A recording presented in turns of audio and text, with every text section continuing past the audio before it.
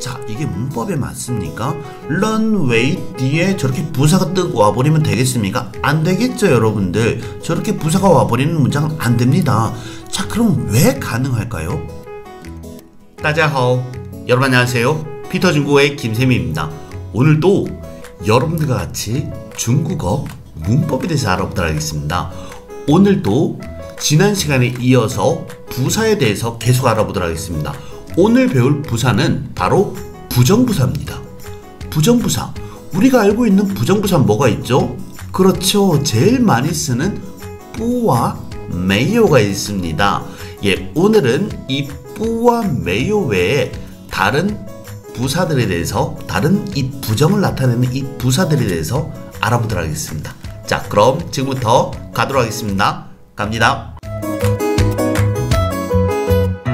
부정을 나타내는 부사. 부정부사는 동사, 형용사 앞에서 동사, 형용사를 부정한다. 뭐 다 알고 있는 사실입니다. 넘어가겠습니다. 자, 제가 이렇게 아홉 개의 부사를 준비했습니다. 이 아홉 개의 이 부정부사들은 우리가 가장 많이 쓰는 부사들이고 우리가 가장 많이 볼 수 있는 부사들입니다. 예, 이것들의 번역법과 이것들의 쓰임에 대해서 오늘 알아보도록 하겠습니다. 자, 먼저 한번 읽어보실까요? 뿌, 没别不要未未必不必뻥 우 그렇습니다. 이렇게 이 아홉 개의 부정 부사들이 어떻게 쓰이는지 그리고 이것들의 용법은 뭔지 같이 한번 보도록 하겠습니다. 자, 그럼 지금부터 가도록 하겠습니다. 갑니다. 자, 첫 번째 문장 같이 한번 읽어보겠습니다. 我明天不去北京 나는 내일 베이징에 안 갈 거야. 이렇게 우리가 대표적으로 쓰는 뿌입니다. 이 뿌는 동사 앞에서 동사를 부정할 수도 있고 형용사 앞에서 형용사를 부정할 수도 있습니다. 그때 동사 앞에 있는지 형용사 앞에 있는지에 따라 가지고 번역은 조금 달라집니다. 예, 보시면은 설명 한번 보실까요? 뿌는 동사 앞에서 동사를 부정할 때는 아직 실현되지 않은 것을 부정한다. 그래서 일반적으로 러를 쓰지 않는다. 자, 이렇게 동사 앞에 왔을 때는 뭐뭐 하지 않을 거야. 자기 의지가 들어간 부정이 됩니다. 그래서 나는 내일 베이징에 가지 않을 거야. 이렇게 번역하시면 되세요. 이해가십니까? 자, 하나 더 보실까요? 我明天不去北京了. 아니, 러를 쓰지 않는다고 했습니다. 근데 지금 러를 썼어요. 맞죠? 자, 번역 볼까요? 나는 내일 베이징에 안 갈 거야. 이 느낌은 자, 설명 한번 보십시오. 만약 뿌가 동사를 수식하는 수식하는데 문장 끝에 러가 오면 변화를 나타내는 것으로 원래 하려고 했지만 하지 않게 된 것을 나타낸다. 바로 뭐냐면 저 러는 완료를 나타내는 게 아니고 변화를 나타내는 겁니다. 원래 나는 내일 베이징에 가기로 되어 있었어요. 그리고 베이징에 가려고 했었어요. 그런데 갑자기 어떤 뭐 일이나 내 마음의 변화로 인해 가지고 가지 않겠다는 겁니다. 느낌 오십니까? 뭐 예를 들면은 밥 먹었니? 안 먹었어요. 그럼 밥 먹어라. 네 알겠습니다 하고 가서 앉았는데 갑자기 먹기가 싫은 거예요. 그럼 뭐라 그럽니까? 我不吃了 맞죠? 나 안 먹을래요. 이런 식으로 쓸 때 그때 오는 그 러는 바로 뭡니까? 어기조사로서 변화를 나타내는 겁니다. 느낌 오십니까? 계속 가시겠습니다. 자, 읽어볼까요? 今天天气不冷 오늘 날씨는 不冷 춥지가 않아요. 바로 뭡니까? 형용사 앞에서 형용사를 부정하네요. 형용사의 부정은 대부분 다 뿌로 합니다. 그리고 기초반에서는 우리는 이렇게 얘기를 합니다. 형용사의 부정은 뿌로만 하십시오. 이렇게 얘기를 합니다. 아시겠죠? 자 그래서 형용사의 부정은 일반적으로 뿌를 사용해서 부정하고 그 의미는 뭐뭐 하지 않다. 형용사 하지 않다. 그래서 뿌렁 춥지 않다. 뿌하오 좋지 않다. 뭐 부漂亮 예쁘지 않다. 이렇게 번역이 되는 겁니다. 느낌 오십니까, 여러분들? 자, 계속 하시겠습니다. 자, 읽어보실까요? 我没看见你的词典 나는 너 사전을 못 봤어? 칸지엔 앞에 메이가 와 있습니다. 메이는 아까 뿌는 뭐라 그랬습니까? 자기의 의지가 들어간 부정이라 했습니다. 이 메이는 동사 앞에 오는 이 메이는 단순 과거 사실만을 부정합니다. 그래서 메이가 동사 앞에서 동사를 부정할 때는 어떤 행동이나 상태가 발생하였음을 나타낸다. 일반적으로 了를 쓰지 않는다. 不에도 了를 쓰지 않는다 하고 没에도 了를 쓰지 않는다고 합니다. 왜 그렇죠? 不는 아직 실현되지 않은 동작을 나타내니까 了를 쓸 필요가 없는 거고 没는 단순 과거 사실 부정 이미 과거라는 거예요. 그래서 러를 쓸 필요가 없다는 겁니다. 느낌 오십니까 여러분들? 그런데 제가 일반적으로라는 표현을 썼어요. 일반적으로.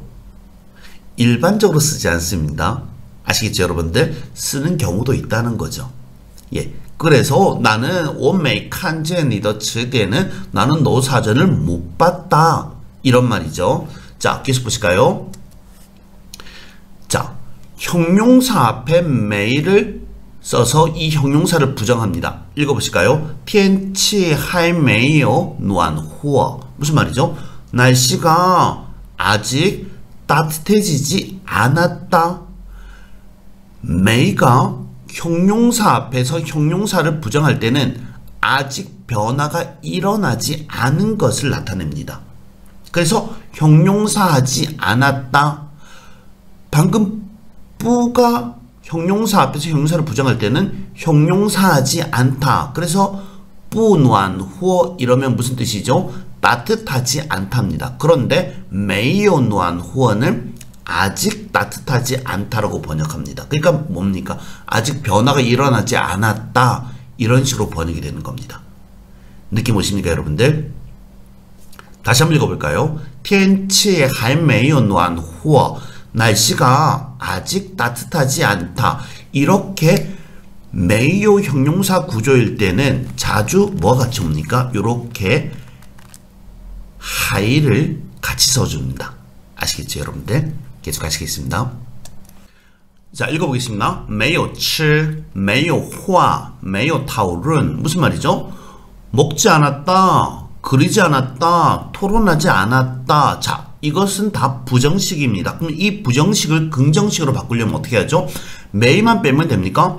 7, 화, 타올은 됩니까? 안 되죠. 맞죠? 왜 그렇습니까? 매요, 7 무슨 말이죠? 먹지 않았다. 그러면 긍정식은 먹었다가 되겠죠. 그래서 뒤에다가 러를 붙여야 됩니다. 그래서 7러, 호알러, 타오르러 이렇게 하셔야 됩니다. 아시겠죠 여러분들? 자 계속 하시겠습니다. 읽어보실까요? 别说了,我知道了. 말하지 마라. 나 알았어.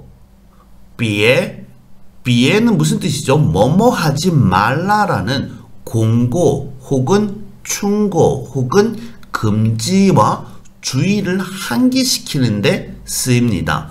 이 비에와 똑같은 건 바로 뭐죠? 부야오입니다. 맞죠? 부야오. 뭐하지 마라 别 뭐하지 마라. 그래서 别说了를 어떻게 바꿀 수도 있죠? 그렇죠. 바로 不要说了 我知道了 이렇게도 바꿀 수가 있습니다.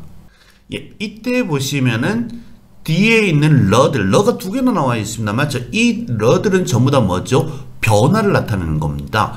보야오 슈월러 말하지 마라. 말하는 동작을 변화시켜라. 어떻게 해요? 하지 않는 걸로 변화시켜라. 我知道了 몰랐지만 我知道了 지금은 알게 되었다. 그래서 말하지 마라. 나 알았어. 이런 식으로 번역이 되는 겁니다. 느낌 오시죠? 계속 가시겠습니다. 읽어볼까요? 니 비에 타이难过了. 너 너무 슬퍼하지 마. 예, 역시 이 别도 우리는 不要로 바꿀 수가 있습니다. 바꿔서 읽어볼까요? 你不要太难过了 느낌 오시죠? 너 너무 슬퍼하지 마. 뭐뭐 하지 마라. 느낌 오시죠? 그래서 여기 보시면은 了가 자주 따라옵니다. 그래서 别什么什么了, 뭐 不要什么什么了 이렇게 우리 외우라 그럽니다. 저 러는 바로 뭡니까? 어기조사입니다. 변화를 나타내는 어기조사입니다. 아시겠죠? 계속 가시겠습니다. 읽어볼까요? 我不要你帮我,我自己能行. 자, 밑에 한번 보셔야 됩니다. 지금부터. 不要는 不需要의 뜻이 있으나 别는 이런 뜻이 없다. 이건 뭐 장난입니다. 말장난하는 겁니다. 자, 바로 不要와 别는 부사예요. 맞죠? 부사일 때는 동, 이렇게 동사형사 앞에 이렇게 쓰면 되는 겁니다. 그런데 지금 보시면은 我不要你帮我 무슨 말이죠? 나는 너가 나를 돕는 걸 도울 필요가 없어. 바로 겸업문 형태를 만들고 있어요. 그때 야오는 바로 뭡니까? 동사입니다. 需要 뭐죠? 필요하다. 不需要 필요 없다가 되죠. 맞죠? 그러니까는 나는 자 보십시오. 이거 주어 와 수러 야오 목적어 니 맞죠? 주어 수로 목적어입니다. 다시 빵은 뭡니까? 빵은 다시 수로입니다. 자 그럼 빵에 대한 주어는 누구죠? 뭡니까 닙니까? 니죠. 맞죠? 주어 얘는 이렇게 목적어죠. 그 다음에 원은 다시 목적어입니다. 바로 뭡니까? 이 니는 이 니는 야오의 목적어가 되고 빵에 대한 주어가 됩니다. 바로 뭡죠? 겸어문이죠. 맞죠? 이럴 때 이 부야오는 바로 뭐가 됩니까? 야오는 동사가 돼버리고 뿌는 부정부사가 되는 겁니다. 그래서 이 형태 我比你帮我我自己能行 이런 말은 아예 없습니다. 될 수가 없죠. 왜? 부야오는 그렇게 동사로 변형이 될 수 있지만 비의 자체는 그냥 부사입니다. 부사는 무조건 뭐죠? 동사 형용사 앞에서 동사 형용사를 수식하는 상어가 되는 겁니다. 그렇기 때문에 절대 저렇게 쓸 수가 없다는 거예요. 느낌 오시죠? 계속 가시겠습니다. 읽어볼까요? 这个定义还未被证明이 정의는 아직 증명되지 않았다. 보시면은 way라는 단어가 있습니다. 이 way는 서면어에 많이 쓰며 아직 뭐뭐 하지 않다, 뭐뭐이 아니다의 의미를 갖는다. 느낌 보십니까? 저 way 같은 경우는 서면어 우리가 글을 볼 때 굉장히 많이 볼 수 있는 단어입니다. 그래서 다시 한번 읽어볼게요. 这个定义还未被证明이 정의는 아직 증명되지 않았다. 느낌 오십니까? 자, 하나 더 보실까요? 읽어보겠습니다. 他挺困难的 这个钱未必能还. 그가 몹시 어려워서 이 돈을 못 갚을 수도 있을 거야. 느낌 오십니까? 자, 보시면은 왜이란 단어를 썼습니다. 왜이는 무슨 뜻이었죠? 아직 뭐뭐 하지 않다였습니다. 근데 왜이는 뭐죠? B의 뜻이 뭡니까? 반드시 뭐뭐 하다는 뜻이에요. 그러니까 왜 B 이러면 반드시 뭐뭐 한 것은 아니야. 그래서 꼭 갚을 수 있는 것은 아니야. 이렇게 됩니다. 이럴 때이 왜가 必랑 합쳐지면서 이 未의 뜻은 不의 뜻이 생기는 겁니다. 이렇게 한번 적어볼까요? 이 未는 이렇게 不의 뜻이 있어요. 그래서 예, 아 우리가 곧 배울 必랑은 또 다릅니다. 또 다른 거예요. 예, 그 느낌을 잡으셨으면 좋겠습니다. 그래서 왜 B 이러면 반드시 뭐뭐 하진 않아. 그래서 뿌이띵의 뜻이 있습니다. 읽어보실까요? 他挺困难的这个钱不一定能还 이런 식으로 왜 B는 不一定의 뜻이 있습니다. 반드시 뭐뭐 한 것은 아니야 라고 번역할 수 있어요. 왜 B는 서면어로 많이 쓰고 不一定은 해화상에서 많이 씁니다. 느낌 오시죠 여러분들? 자 하나 더 보실까요? 읽어보시겠습니다.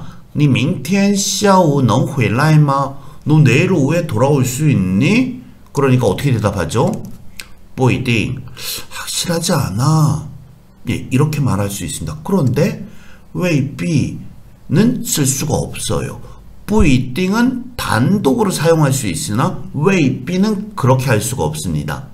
아시겠죠 여러분들? 자 계속 보실까요? 慢慢来不必着急. 천천히 와라 부비자오지. 서두를 필요가 없어. 방금 이 위에서 본 웨이비는 무슨 뜻이었습니까? 꼭 뭐뭐 한 것은 아니다. 이런 뜻이었어요. 그런데 부비는 무슨 뜻입니까? 뭐뭐 할 필요 없다. 바로 부용의 뜻입니다. 부용, 뭐뭐 할 필요 없어. 부비, 뭐뭐 할 필요 없어. 느낌 오시죠, 여러분들? 그래서 만만 라이, 부비, 자오지. 이래서 천천히 와. 서두를 필요 없어. 이렇게 되는 겁니다. 그래서 부비는 필요성이 없음을 나타내며 뭐뭐 할 필요가 없다, 뭐뭐 하지 않아도 된다의 의미가 있습니다. 계속 보시겠습니다. 읽어볼까요? 事情已经过去了,不必把它放在心上. 일이 이미 지나갔으니 그것을 마음에 둘 필요가 없어. 마음에 두지 마라. 이 정도의 느낌입니다. 부비는 부용과 바꾸어 써서 사용해도 됩니다. 그래서 이렇게 읽어도 됩니다. 읽어볼까요? 事情已经过去了,不用把它放在心上. 부용 뭐뭐 할 필요 없어 느낌 오시죠? 자 보시면은 부사인데 지금 이 문장 보십시오. 수, 수로가 뭐죠? 그렇습니다. 팡. 그 다음에 얘는 뭐죠? 짜의 신상은 결과보입니다. 바타 뭐죠? 전치사 구죠. 부용 부사. 바로 부사의 위치는 어딥니까? 전치사 앞이라는 겁니다. 자 기본적으로 상황의 위치는 이렇게 됩니다. 우리가 알고 있는 상황의 위치 한번 보실까요? 자, 부사, 조동사, 전치사, 구죠. 전치사 구로 하겠습니다. 그 다음에 동사 혹은 형용사. 이 동사 형용사는 수로가 됩니다. 그 다음에 전치사 구, 그 다음에 조동사, 부사. 아시겠죠? 그래서 부용. 대부분의 부사들은 전치사 앞에 옵니다. 일부 부사들은 동사, 형용사 앞에 와야 되고요. 느낌 오시죠? 아, 느낌보다는 외우시는 겁니다. 예, 제가 만든 어, 상황어에 아마 이게 있을 겁니다. 잠깐 제시를 했었어요. 제가 다음에 구체적으로 한번 만들어 보도록 하겠습니다. 계속 가시겠습니다. 읽어볼까요? 这样做我认为不必 이렇게 하는 것은 나는 필요가 없다고 생각해 자, 부비 뒤에 있는 동사나 형용사는 문장 앞으로 보낼 수가 있습니다. 그래서 이 문장은 원런웨이 보비 저양 쪼라는 문장이었어요. 맞죠? 그런데 이것을 저양 쪼를 문장 앞으로도 보낼 수가 있습니다. 그래서 이렇게 하는 것은 필요가 없다고 생각해 자, 이게 문법에 맞습니까? 런웨이 뒤에 저렇게 부사가 뜨고 와버리면 되겠습니까? 안 되겠죠, 여러분들. 저렇게 부사가 와버리는 문장은 안 됩니다. 자, 그럼 왜 가능할까요? 간단하죠, 여러분들. 바로 이럴 때는 이 B가 뭐가 돼버리는 겁니까? 동사가 돼버리는 겁니다. 그래서 뭐뭐 하다. 그러니까는 부비 이러면 할 필요가 없다. 이런 식이 되는 거예요. 느낌 오셨으면 좋겠습니다.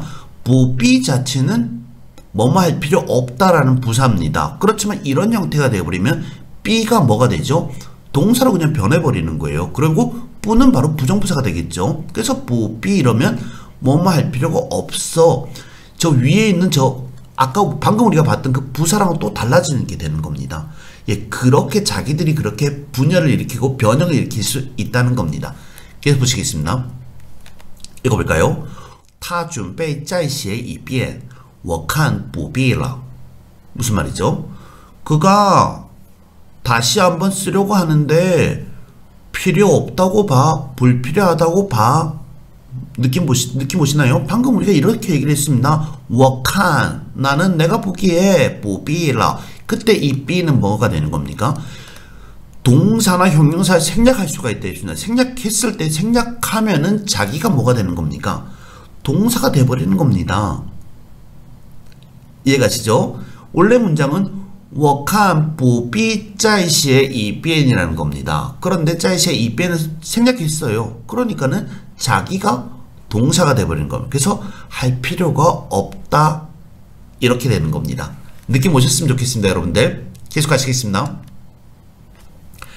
부비와 왜비의 비교 부비와 왜비는 단어 형태에서는 비슷하다. 단어의 뜻은 완전히 다릅니다. 단어 형태는 부비, 왜비 이렇게 비슷하게 보여요. 맞죠? 그렇지만 번역은 완전 다르죠. 왜비는 뿌이띵의 뜻으로 꼭 그렇다고 할 수는 없다이고 부비는 뭐뭐 할 필요가 없다라는 바로 부용의 뜻이죠. 그래서 보십시오. 他未必去 무슨 말이죠? 그가 꼭 가지는 않을 거야. 갈 수도 있고 안 갈 수도 있다는 거죠. 그래서 이 뜻은 뭡니까? 바, 그렇죠. 바로 他不一定去란 뜻입니다. 자 그러면은 他不必去는 뭐죠? 그가 갈 필요가 없어 不用의 뜻이죠. 그래서 他不用去가 되는 겁니다. 느낌 오십니까 여러분들? 아 사실은 요거는 외우셔야 됩니다 여러분들. 외우시는 게 제일 좋으세요. 예, 부사들은 외울 게 좀 많습니다. 좋습니다. 계속 하시겠습니다. 자, 계속 읽어볼까요? 까우스타 벙라이 그에게 올 필요 없다고 알려주세요.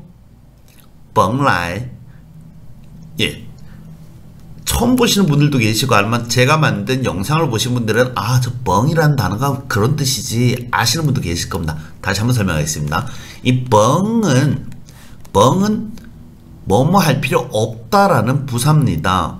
자, 뻥은 부용의 줄임말이며 주로 해화상에 쓰인다. 뻥 구조 한번 보십시오. 뻥은 이렇게 생겼습니다. 자, 부를 이렇게 썼죠. 그 다음 뒤에 밑에 뭐를 쓰죠? 그렇습니다. 바로 이렇게 용을 썼습니다. 바로 뭡니까? 부용을 써가지고 뻥이란 단어를 만들었습니다. 이 뻥은 바로 해화상에 썼습니다. 부용은 부용도 해화상에 쓰죠. 예, 똑같은 겁니다. 그래서 부용을 줄여가지고 뻥 이렇게 하는 겁니다.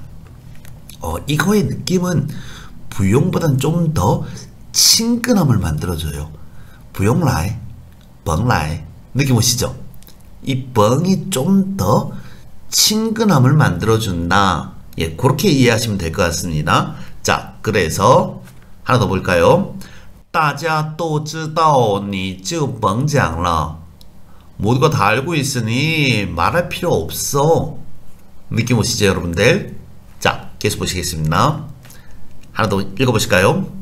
니甭 说了. 너 말할 필요가 없어. 니甭 说了. 자, 이 뻥은 바로 이렇게도 할 수 있습니다. 니 부용 슈얼라 똑같은 말이죠. 뻥 대신 부용을 써도 된다는 겁니다. 아시겠죠? 뻥은 부용으로 바꾸어 사용해도 된다. 아시겠죠? 계속하시겠습니다. 자 읽어볼까요?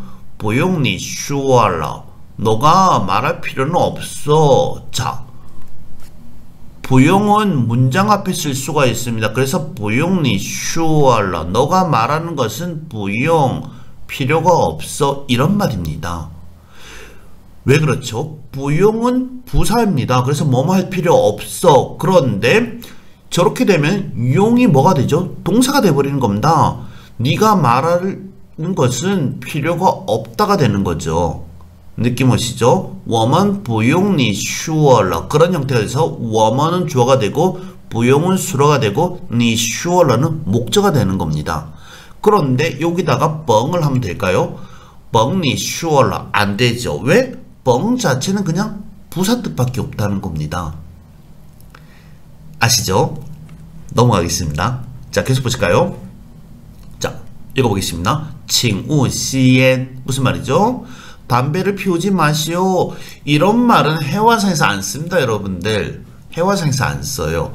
우는 부여, 비해와 같은 뜻으로 뭐뭐 하지 마라, 뭐뭐 해서는 안 된다의 공고, 예? 충고의 뜻을 나타내고 있습니다. 어디서 많이 보죠? 어, 저 같은 경우는 택시 안에서 제일 많이 봅니다. 택시 앞에 딱 이렇게, 운, 이렇게 조수석에 딱 앉으면은 앞에 뭐가 적혀있죠? 칭우, 시엔 이렇게 적혀 있습니다.